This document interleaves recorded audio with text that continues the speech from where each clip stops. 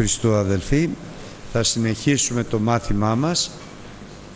Είμαστε στη σελίδα 1041 από την επιστολή του Αποστόλου Παύλου προς Φιλιππισίους, τέταρτο κεφάλαιο και τέσσερα εδάφιο. Δέλτα 4.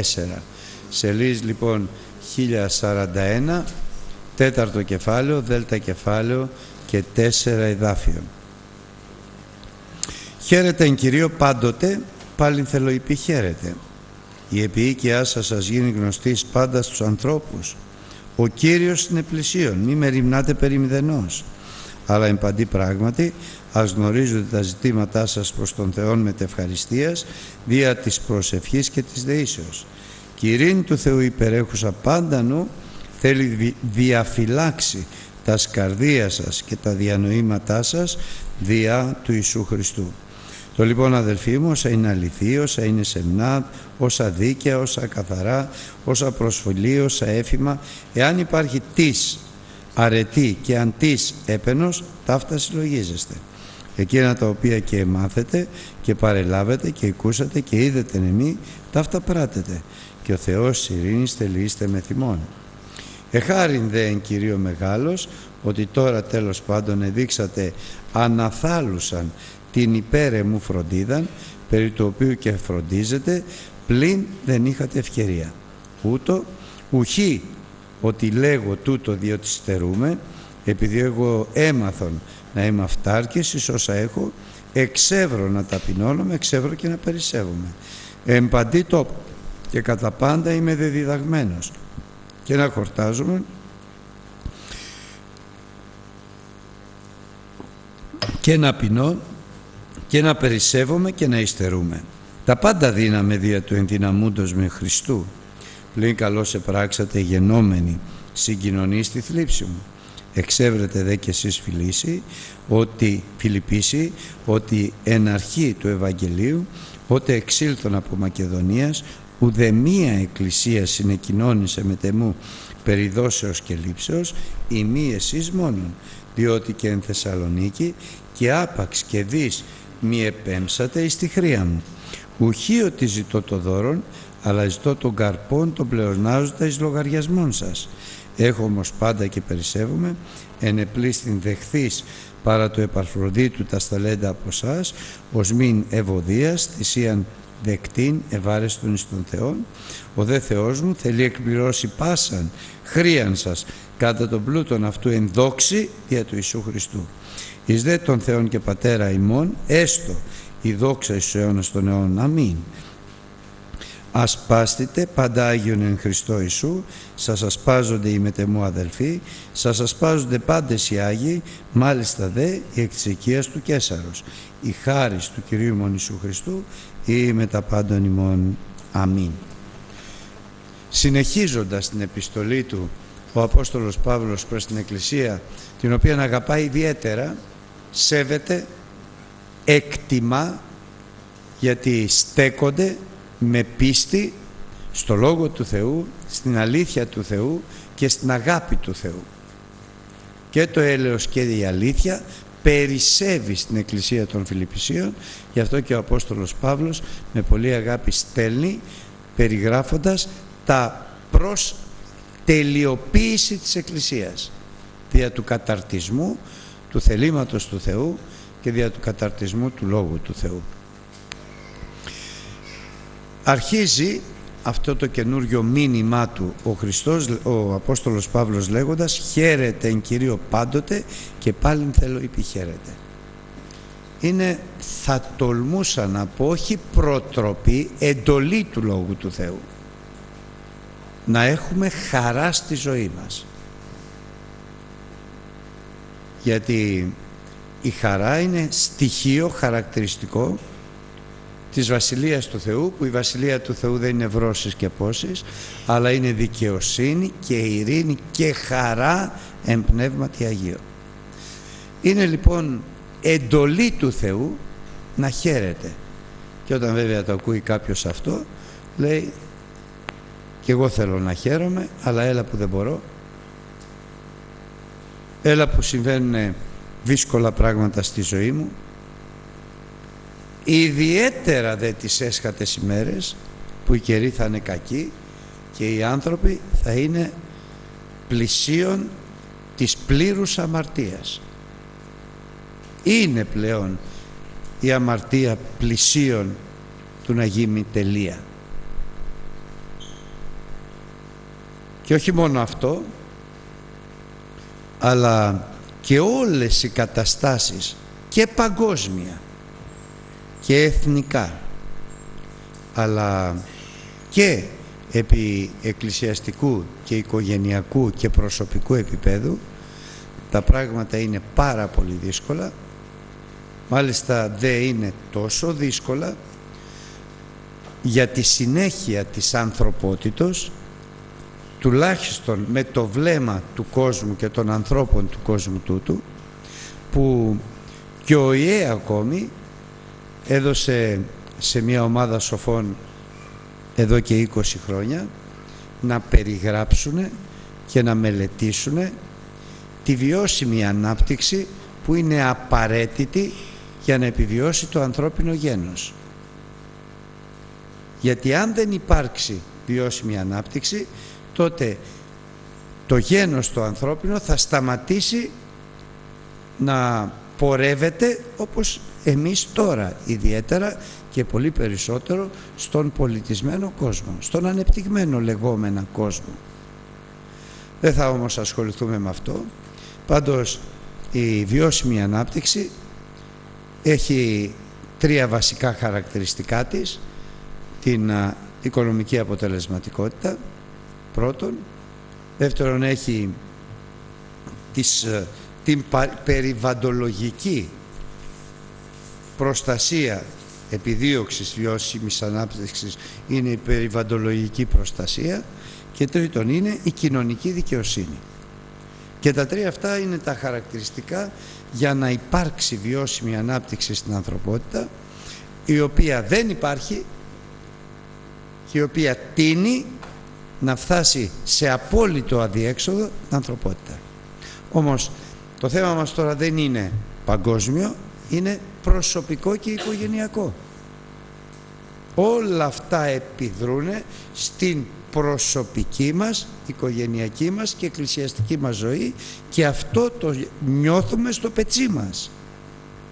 Τι νιώθουμε; Ότι όλα είναι μολυσμένα. Όπου και να κοιτάξει όλα είναι μολυσμένα. Τα τρόφιμα, το περιβάλλον, η περιβαντολογική μη προστασία παρόλο που αγωνίζονται να φτιάξουν το όζον κλπ δημιουργεί σοβαρά προβλήματα στους ανθρώπους και ένα βασικό χαρακτηριστικό παράδειγμα είναι η Κίνα που είχε μια τρομακτική ανάπτυξη χωρίς να λογαριάζει το περιβάλλον και έφτασε στο σημείο τώρα να αδειάζουν πόλεις γιατί είναι μη κατοικήσιμες από τη μόλυση του περιβάλλοντος. Αλλά και στην πατρίδα μας έχει φτάσει αυτό παρόλο που δεν μας αγγίζει ακόμη επί προσωπικού επίπεδου. Το δεύτερο είναι η κοινωνική βιώσιμη ανάπτυξη που εδώ μας αγγίζει καθώς η εκμετάλλευση όχι από κακία πάντοτε τις περισσότερες φορές εξ ανάγκης του ανθρώπου στον άνθρωπο γίνεται όλο και μεγαλύτερη. Εγώ κάποτε όταν ξεκίνησα να δουλεύω, δούλευα 8 ώρες, 5 μέρες, 40 ώρες. Τώρα τα νέα παιδιά και πληρωνόμαστε. Και η μισθή μας ήταν πάντα αυξανόμενη. Και το επίπεδο ζωής ήταν πάντοτε βελτιούμενο. Ζήσαμε τις καλές εποχές. Οι νέοι τώρα ταλαιπωρούνται με ασήμαντη μισθοδοσία, με ανεργία πρώτον και καλύτερον και αν κάποιος βρει δουλειά με απόλυτη εκμετάλλευση. Πάσης φύσεως εκμετάλλευση. Η κατάσταση φτάνει σε δουλεία στην Ελλάδα η οποία ανήκει μεν στα αναπτυγμένα κράτη αλλά δεν είναι το καλύτερο από τα ανεπτυγμένα σκεφτείτε στα μη στα μία ακόμα ανεπτυγμένα κράτη τι γίνεται. Απλώς το διαβάζουμε και όχι όλα. Και το τρίτο, το οποίο είναι η οικονομική αποτελεσματικότητα που ζούμε, θέλω να πω, όχι παγκόσμια, τη βιώνουμε σε τραγικές καταστάσεις καθώς αντί να υπάρχει βελτίωσης και αυξήσεις του επίπεδου όπως υπήρχαν ζωής οι μειώσεις είναι καταλυτικές. Δεν έχει κανένας πρόθεση να μειώσει μισθούς και συντάξεις και να απολύσει αλλά είναι έτσι η κατάσταση που δεν γίνεται αλλιώς. Είναι καιροί κακοί. Γι' αυτό και ο χριστιανός βιώνει καταστάσεις επώδυνες που δημιουργούν αγωνία, φόβο, ταραχή και, στον, και στο άτομο και στους ανθρώπους και στις οικογένειες που δάζουν τα παιδιά και μετά πού θα πάνε, πού θα δουλέψουν. Όσα, όσες δυνατότητες έχουν τις προσφέρουν στα παιδιά τους οι γονείς με την ε, αμφιβολία και το μεγάλο φόβο τι θα κάνουνε. Φτάσαμε να λέμε στην πατρίδα μας ότι οι οικογένειες ζουν από τη συντάξη των παππούδων. Και είναι αλήθεια αυτό το βιώνει και η Εκκλησία. Και θα μπορούσα να μιλήσω και για εγκληματικότητα και για ανηθικότητα με μία λέξη την αμαρτία. Και μπορώ να μιλήσω και για άλλα πολλά πράγματα αλλά δεν θα το κάνω. Εκείνο το οποίο γνωρίζουμε όλοι μας είναι ότι οι καταστάσεις είναι και γίνονται χειρότερες όπως οι οδύνες της εγκυμονούσης. Όσο πάνε γίνονται συχνότερες και όσο πάνε γίνονται και πιο επώδυνες μέχρι να γεννηθεί το μωρό που είναι για μας η αρπαγή της Εκκλησίας. Αυτό είναι το μέλλον μας αλλά πρώτον έχουμε χαρά γιατί έχουμε ελπίδα βεβαία και ασφαλή ότι ο Κύριος θα έρθει να παραλάβει την Εκκλησία Του. Και ακόμη δεν έχουμε μπει σε αυτό που λέει ο Λόγος του Θεού ταραχές κατά τόπους, πολέμους, εμφυλίους, τοπικούς. Δεν θα το γλιτώσουμε και αυτό. Προσευχόμαστε όμως να μας φυλάξει ο Θεός. Άρα λοιπόν μέσα σε τέτοιες καταστάσεις που βιώνουμε τι σημαίνει ο Λόγος του Θεού χαίρεται εν Κυρίω πάντοτε και πάλι θέλω χαίρεται είναι λόγος για τότε; Είναι λόγος απλά παρηγορητικός; Γιατί όλα κρεμίζονται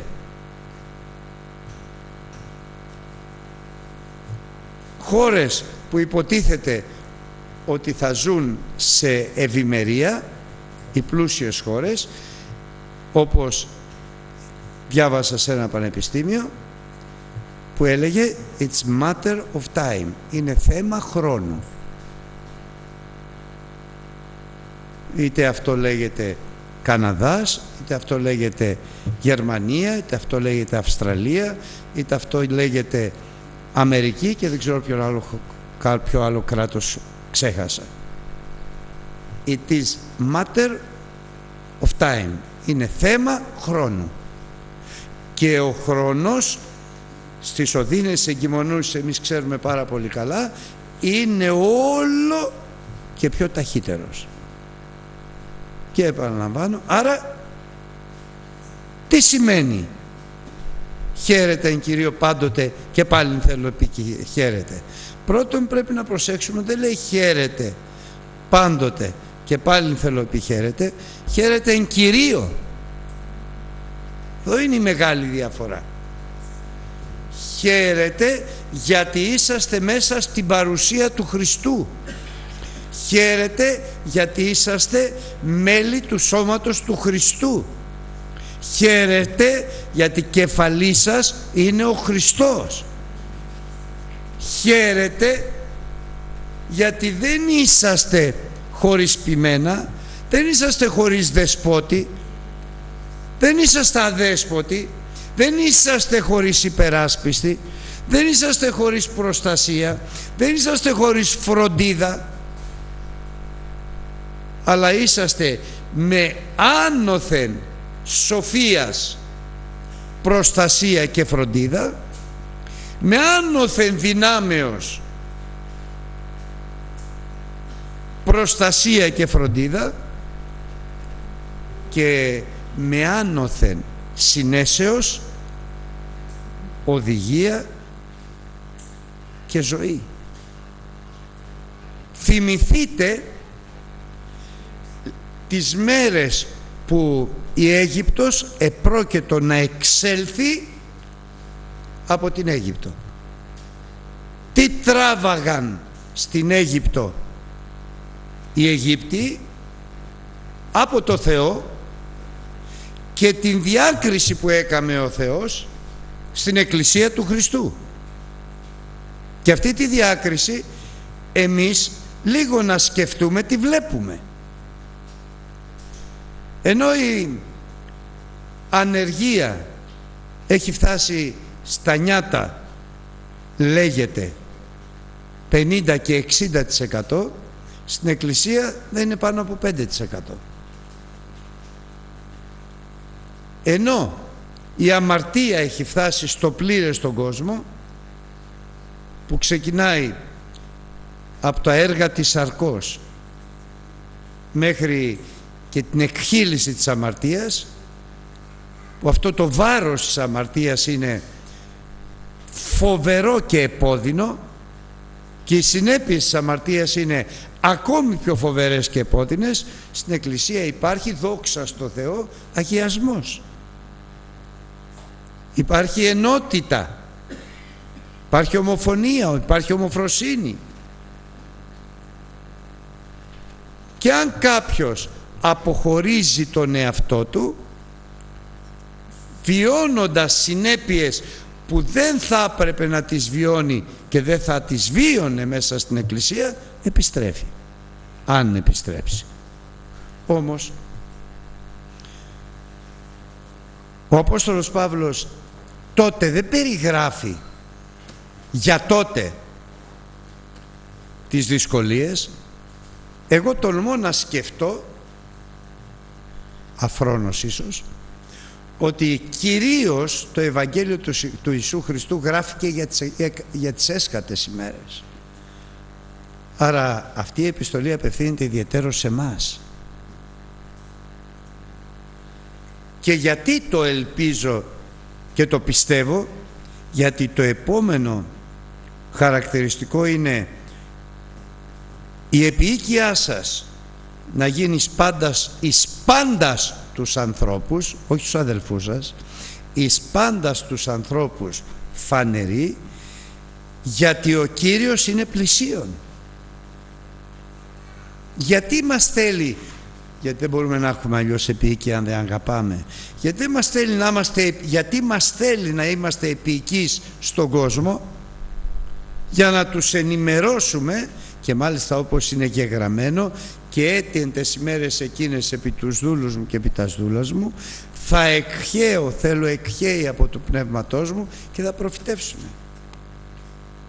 Μας λέει λοιπόν φροντίστε η επιοίκειά σας να είναι φανερή σε όλους τους ανθρώπους καθώς η επιοίκεια είναι αποτέλεσμα της αγάπης γιατί ο Κύριος είναι πλησίον και θέλει να σώσει πολλούς και θα σώσει. Και μακάριος θα είναι αυτός ο οποίος έχει καταλάβει το Λόγο του Θεού προσεύχεται με επιμέλεια στον Παντοκράτορα εν το ονόματι του Χριστού και ευαγγελίζει για να χρησιμοποιήσω τη γραφική έκφραση τους ανθρώπους γύρω του και γίνεται αποδεκτός ο λόγος του επειδή η επίοικιά του προηγουμένως έχει γίνει φανερή σε όλους τους ανθρώπους τους οποίους ο Θεός παραδίδει στα χέρια του κάθε ενός από μας για να ευαγγελίσει για να ομολογήσει. Γιατί ο Θεός θέλει να σωθούν όλοι οι άνθρωποι και να έρθουν σε μετάνοια και επίγνωση του λόγου της αληθείας. Όμως ξαναεπιστρέφουμε πάλι σε μας καθώς τώρα ο Κύριος μας αναγνωρίζει με το λόγο Του τις ταλαιπωρίες μας και τις μέρημνές μας. Και μέρημνα τι σημαίνει; Ταλαιπωρία, φόβος, αγωνία, απελπισία, αδιέξοδο, ταλαιπωρία σώματος, ψυχής και πνεύματος, ταλαιπωρία στη δουλειά μας, ταλαιπωρία στη γειτονιά μας, ταλαιπωρία στη συγγένειά μας, ταλαιπωρία πολλές φορές στην οικογένειά μας, εξαιτίας των πολλών προβλημάτων που έρχονται να χτυπήσουν το χριστιανό ο οποίος ζει μέσα στον κόσμο αλλά δεν είναι εκ του κόσμου τούτου και ο άνθρωπος του Θεού πρέπει να σταθεί νικητής, θριαμβευτής. Γιατί ο Χριστός είπε εγώ ενίκησα, νίκησα και συνεχίζει και εσείς θα νικήσετε τον κόσμο. Και αυτή είναι η νίκη νίκη σας από τον κόσμο η πίστη σας στο Ευαγγέλιο του Ιησού Χριστού, στα λόγια του Χριστού, στις προτροπές του Χριστού.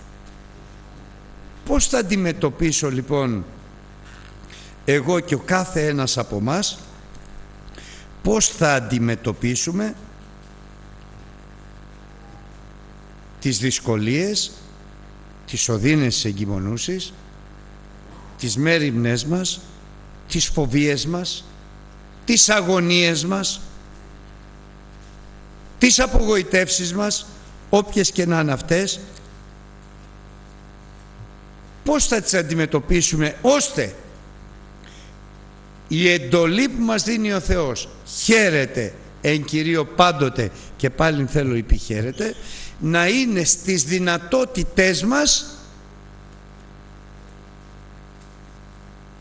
για να μπορούμε να την εκτελούμε.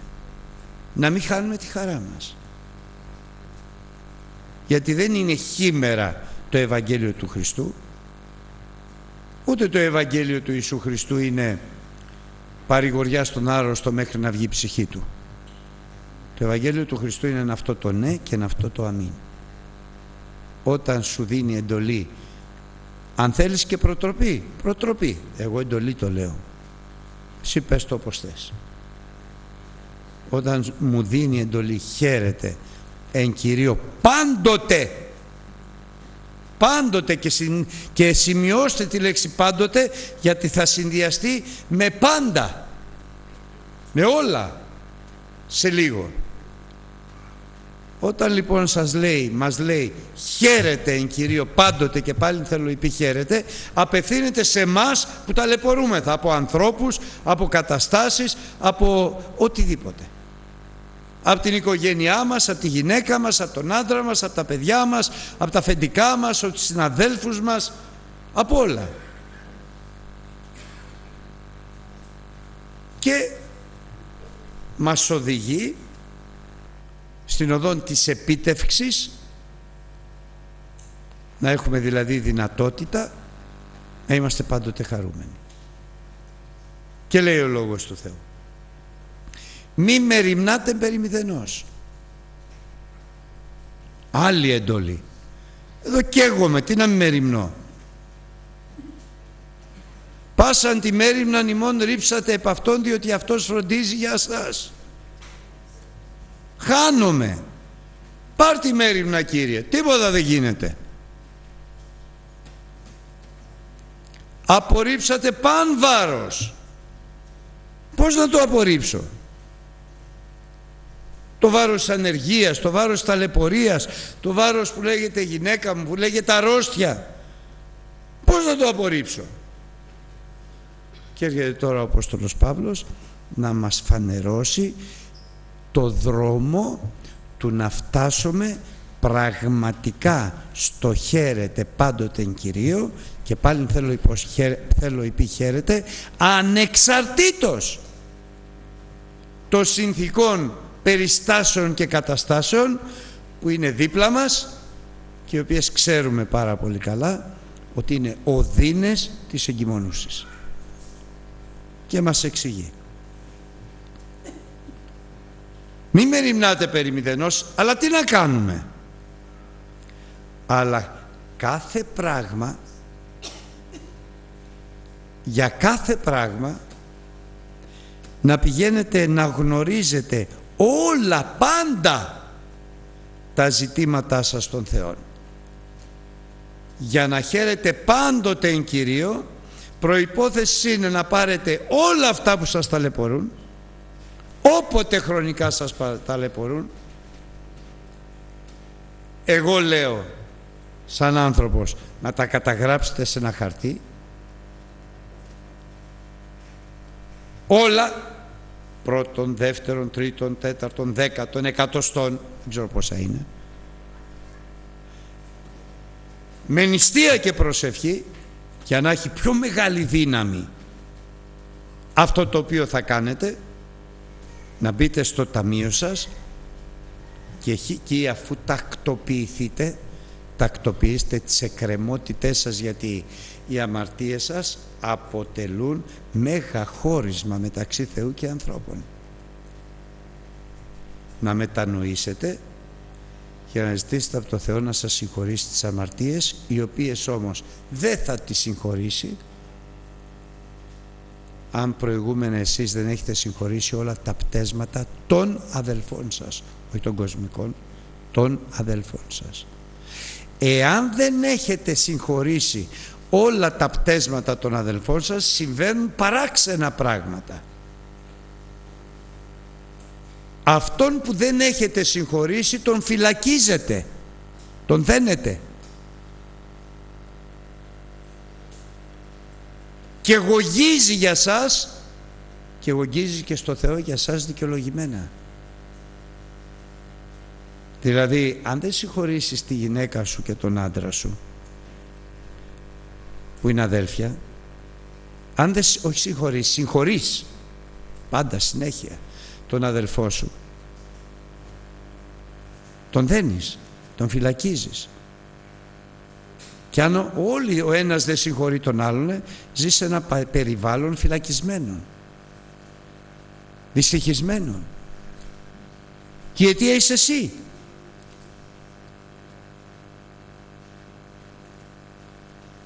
Ο Θεός όμως τι θέλει; Πρώτον βοήθα αυτόν που δεν σε συγχωρεί με το να του ζητήσεις συγχώρεση για να μπορέσει να σε συγχωρέσει αλλά και για να ελευθερώσει και τον εαυτό σου εάν λοιπόν δεν συγχωρείς και φυλακίζεις ο Θεός τον οποίον ο οποίος έχει την εξουσία να εφορά επί πάντας στους ιούς των ανθρώπων δυσαρεστείτε για σένα που δεν συγχωρείς. Και έχεις να κάνεις με ένα Θεό που δεν μπορεί να σε συγχωρήσει γιατί είναι δεσμευμένος με το Λόγο Του αλλά έχεις να κάνεις και με ένα Θεό που θα σε στείλεις στους βασανιστές όχι σαν τιμωρία αλλά σαν εκπαίδευση. Και αν σε στείλεις σε βασανιστές επειδή πια δεν θα υπάρχει η απέτησή σου ελευθερώνεται αυτός που ζήτησε συγγνώμη και θα ταλαιπωρείσαι ίσως και σωθείς πως ξεκινάμε λοιπόν το χαίρετε εν κυρίω πάντοτε στο ταμείο μας με την πρόθεση να μας συγχωρήσει ο Θεός. Και δεν μπορεί να μας συγχωρήσει ο Θεός αν εμείς δεν έχουμε συγχωρήσει τα πτεσματάκια του αδερφού μας. Τα μικρούλικα ακόμη και αυτά. Αν τα συγχωρήσουμε άσχετα αν ο άλλος μας συγχωρεί ή δεν μας συγχωρεί εμείς προχωράμε. Αλλά και να μετανοήσουμε και να ζητήσουμε συγχώρεση για να είμαστε και πάλι ελεύθεροι. Γιατί αλλιώς θα δημιουργηθεί μια οικογένεια, μια συγγένεια, μια εκκλησία που ένας θα έχει δέσει τον άλλον. Όλοι θα βασανίζουν ο ένας τον άλλον και όλοι θα βασανίζονται από τους βασανιστές από τον ίδιο το Θεό. Εάν συγχωρήσουμε τότε ισχύει ο μακαρισμός Μακάριος εκείνος το οποίο συνεχωρήθη η αμαρτία εκαλύφθη η παράβασης δεν λογαριάζει ο Θεός αυτόν αδικία. Σε αυτόν τον άνθρωπο ο Θεός υπόσχεται τώρα πια που κατάλαβες, συγχώρεσες, ελευθερώθηκες και ελευθέρωσες σε αυτόν ο Θεός λέει εγώ τώρα πια θα σε συνετήσω εγώ θα σε διδάσκω την οδόν την οποία πρέπει να περπατάς.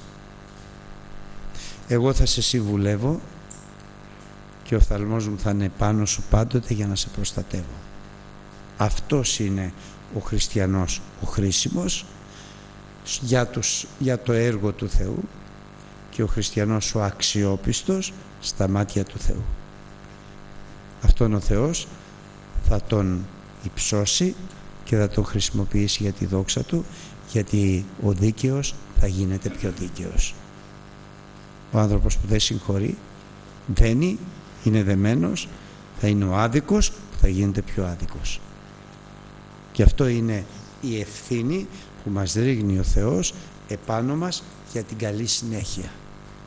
Όταν λοιπόν ελευθερωθούμε και έχουμε την υπόσχεση του Θεού εγώ θα σε συνετίζω, θα σε διδάσκω, θα σε συμβουλεύω και θα σε προστατεύω τότε όλα τα ζητήματά μας που μας ταλαιπωρούν τα πηγαίνουμε στο Θεό με πίστη που η πίστη μας εκφράζεται με ευχαριστία. Τα άδωσα στο Θεό και τον ευχαριστώ το Θεό γιατί τα άκουσε. Θα τα ακούσει. Ευχαριστώ το Θεό γι' αυτό. Ευχαριστώ το Θεό. Δηλαδή σε ευχαριστώ Θεέ μου. Γιατί τώρα πια μπορώ και σε πλησιάζω ελεύθερος και εσύ μπορείς πλέον να με βοηθήσεις. Να αναλάβεις και αρχίζω προσέχομαι δια της δεήσεως και της προσευχής και δέομαι για αυτά όλα τα ζητήματα που αυτό το λέω εγώ δεν το λέω λόγος του Θεού αλλά είναι σύμφωνα με το λόγο του Θεού τα έχω γράψει για να μην τα ξεχάσω αυτά που με βασανίζουν ή αυτά που με φοβίζουν ή αυτά που με ταλαιπωρούν όλα τα πηγαίνω στον Κύριο του τα γνωρίζω και τότε συμβαίνει το πρώτο μεγάλο θαύμα στη ζωή μου. Μεγάλο θαύμα. Τότε έρχεται η ειρήνη του Θεού που ξεπερνάει κάθε λογική σκέψη που είναι οι διαλογισμοί μας, που είναι οι ταλαιπωρίες μας, που είναι η σκέψη μας, η φόβη μας. Έρχεται η ειρήνη του Θεού που ξεπερνάει τη λογική του ανθρώπου και μας ελευθερώνει εν Χριστώ Ιησού από τα πάντα και από τους διαλογισμούς μας από τους διαλογισμούς μας, τα διαλογήματά μας και από την καρδιά μας. Και τι είναι ο άνθρωπος πλέον; Χωρίς μέρημνες. Δεν του έχουν λυθεί τα προβλήματα αλλά έχει ειρήνη. Η καρδιά του δεν ταλαιπωρείται και με τις σκέψεις του δεν φοβάται αλλά τι κάνει; Ελπίζει και ο ελπίζων στον Κύριο δεν κατεσχύνεται ελπίζεις στο Λόγο του Θεού. Αλλά έχει χρειαν υπομονή τώρα για να κάνει το θέλημα του Θεού ώστε να απολαύσει την επαγγελία. Δεν γίνεται στο άψεσβήσε. Είναι έργο Θεού από εδώ και πέρα. Γι' αυτό λέει ο Θεός αυτή την ειρήνη την οποία σου χαρίζω αυτή την άνεση πνεύματος που σου δίνω φρόντισε να τη διατηρήσεις. Συλλογιζόμενος από εδώ και στο εξής όχι πω πω τι θα πάθω, πω πω τι θα γίνει αλλά συλλογιζόμενος στα εξής από εδώ και στο εξής όσα είναι αληθινά.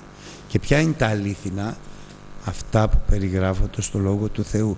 Δεν είναι η δική σου η αλήθεια τα αληθινά είναι του Λόγου του Θεού. Η αλήθεια τα αληθινά που πρέπει να συλλογίζεσαι. Τα αυτά συλλογίζεστε όσα είναι αληθινά, όσα είναι σεμνά. Όχι άσεμνες σκέψεις πονηρές σκέψεις.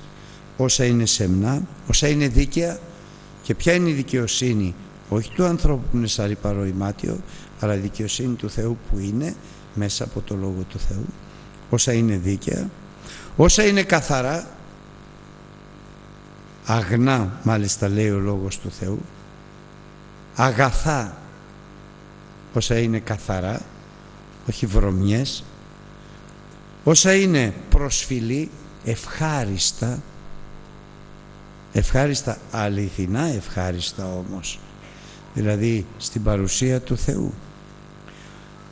Όσα είναι έφημα όταν είναι κάτι που το ακούς και έχει καλή μαρτυρία και καλή φήμη.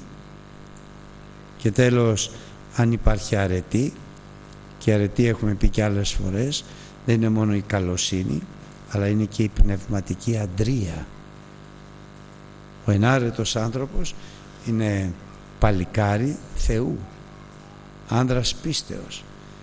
Και στη φυσική ζωή του και στην ψυχική ζωή του και στην πνευματική ζωή του. Και τέλος εάν υπάρχει μόνο έπαινος όχι κατηγόρια, όχι κατάκρισης μόνο έπαινος και θα βρεις πολλές αιτίες να επενείς αυτά να συλλογίζεσαι. Γιατί για να μην χάσεις αυτό το ωραίο έργο που έκανε η ειρήνη του Θεού στην καρδιά σου και σε φυλάει μέσα στο Χριστό εν Κυρίω χαίρεται εν Κυρίω πάντοτε αυτό που κάνει ο Θεός με την ειρήνη του στην καρδιά σου εν Κυρίω που βγάζει το φόβο, την αγωνία, τις απελπισίες εν Κυρίω με αποτέλεσμα να μπορείς να μην είσαι επιλύσμον ακροατής πια αλλά να είσαι εκτελεστής έργου καθώς τώρα πλέον εκείνα τα οποία έμαθες, παρέλαβες, άκουσες και είδες μέσα στη γραφή αυτά μπορείς και τα πράττεις είσαι σε κατάσταση γιατί δεν μπορούσες μέχρι πρότινος γιατί ήσουν σε ταραχή σε αγωνία, σε φόβο. Πως να πράξεις το θέλημα του Θεού σε αυτά τα χάλια που είχες, που είχα. Τώρα όμως μπορείς να είσαι εκτελεστής του Λόγου του Θεού γιατί τα χάλια σου έφυγαν. Ήρθε η χάρη του Θεού η ειρήνη του Θεού τώρα πια δεν φοβάσαι δεν κλειδώνεσαι. Τώρα πια ελπίζεις στον Κύριο. Γιατί έχεις αφιερώσει όλα τα ζητήματά σου με την ευχαριστία στο Θεό και γιατί σου έχουν συγχωρεθεί αμαρτίες επειδή συγχώρεσες τα, τα πτέσματα των αδελφών σου. Και τότε το θαύμα το μεγάλο ο Θεός της ειρήνης θα είναι πάντοτε μαζί σου ο Θεός πια που είναι μαζί σου θα έχει ένα ωραίο χαρακτηριστικό. Ο Θεός της ειρήνης θα είναι πάντοτε μαζί σου. Η καρδιά σου θα βρίσκεται πάντοτε σε ειρήνη. Η οικογένειά σου θα βρίσκεται πάντοτε σε ειρήνη.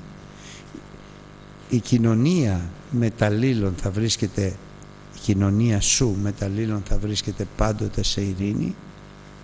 Τα πάντα θα είναι μέσα στην ειρήνη του Θεού γιατί η ειρήνη του Θεού θα είναι μαζί σου. Ο Θεός της ειρήνης θα είναι μαζί σου.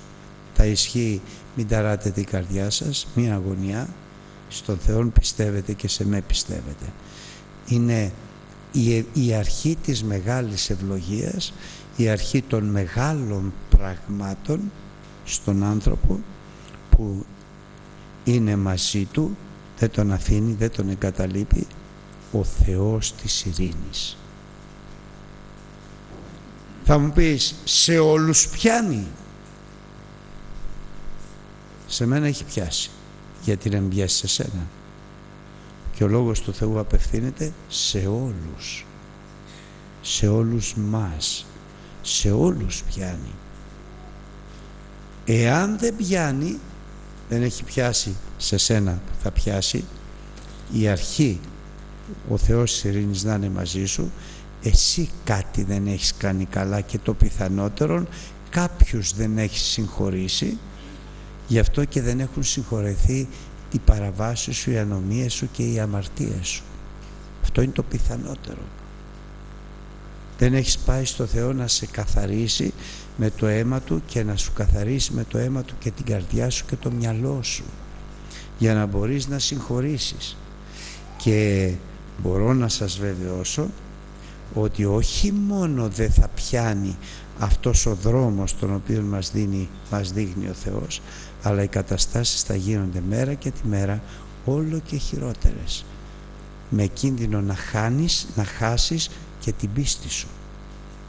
Γι' αυτό ο Απόστολος Παύλος το θεωρεί τόσο σημαντικό και επειδή το θεωρεί τόσο σημαντικό λέει τον αγώνα των καλών ηγονίστην που είναι αυτό να, ένας, ένα χαρακτηριστικό να πλησιάζουμε το Θεό. Το δρόμο που μου χάραξε ο Θεός εγώ τον ετελείωσα και την πίστη μου διατήρησα δεν θα διατηρήσεις την πίστη σου εάν δεν τα καταφέρεις να νικήσεις. Να νικήσεις την καρδιά σου τον εαυτό σου να νικήσεις όχι τα προβλήματά σου που δεν μπορείς ούτε το διάβολο αλλά να νικήσεις μόνο την καρδιά σου και το μυαλό σου μετανοώντας, ταπεινώνοντας τον εαυτό σου και ιδιαιτέρως συγχωρώντας. Ιδιαιτέρως συγχωρώντας τα πτέσματα. Και αυτή την παραβολή αδερφοί ο Θεός την είπε αν θα διαβάσετε στο Ματθαίο στο Ιωταΐτα κεφάλαιο με αφορμή την ερώτηση του Αποστόλου Πέτρου πόσες φορές να συγχωρήσω τον αδελφό μου. 7 και του είπε όχι 7 εβδομικοντάκι 7 και το είπε στον Πέτρο και τους Αποστόλους πριν να γίνουν Απόστολοι.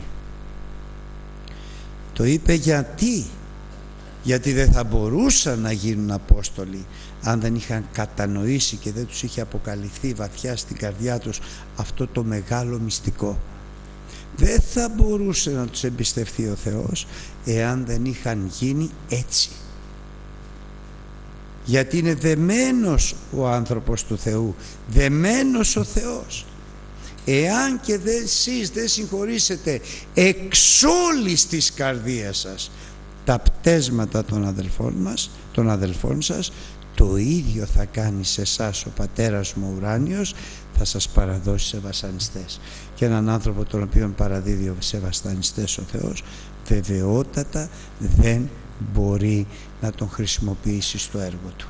Αποκλείεται πρώτα θα περάσει από βασανιστές. Μήπως και έλθει σε αυτόν και μετανοήσει και ύστερα εάν έλθει σε αυτόν μετανοήσει και συγχωρήσει τότε μπορεί εάν μένει όπως το περιέγραψε ο Θεός συλλογιζόμενος τα αληθή, τα σεμνά, τα δίκαια, τα καθαρά, τα προσφυλή, τα έφημα, την αρετή και τον έπαινο ώστε να πράττει το θέλημα του Θεού και να είναι εκτελεστής του Λόγου του Θεού τότε θα τον χρησιμοποιήσει ο Θεός. Τώρα είναι η προετοιμασία των Αποστόλων για να, των μαθητών για να γίνουν Απόστολοι. Τώρα είναι η προετοιμασία της Εκκλησίας για να γίνουμε προφήτες, να προφητεύουμε τις έσχατες ημέρες ότι ο Κύριος έρχεται και να γίνουμε σκεύη εκλογής του Κυρίου Τιμίας Χρήσεως να μας χρησιμοποιεί για τη σωτηρία των ανθρώπων. Ο Θεός αδερφοί να μας βοηθήσει να μας δώσει καρδιά συγχωρητική, μακρόθυμη, ώστε να συγχωρούντες, ο Θεός να μας δίνει σύνεση και σοφία, διδασκαλία του τρόμου του οποίου πρέπει να περπατάμε, συμβουλή αλλά και προστασία. Δηλαδή, τι θα κάνει ο Θεός, θα μας δίνει σοφία να γνωρίζουμε το θέλημά Του. Θα μας διδάσκει την οδόν που πρέπει να περπατάμε. Θα μας δίνει σοφία και διδασκαλία πού να πάμε. Πού να πηγαίνουμε. Θα μας συμβουλεύει για να μας μάθει τι να κάνουμε. Και θα μας αφαιρέσει κάθε φόβο αποκαλύπτοντάς μας εμάς την απόλυτη και τέλεια προστασία Του. Ο Θεός να μας φωτίσει να γίνουμε άνθρωποι τους Θεού τους οποίους ο Θεός θα χρησιμοποιήσει και βεβαίως δεν είναι μόνο για να μας χρησιμοποιεί ο Θεός αλλά αυτό το μεγάλο μυστικό έχει και συνέπειες και τη σωτηρία και την απώλεια. Ο Θεός να μας φυλάει. Αμήν.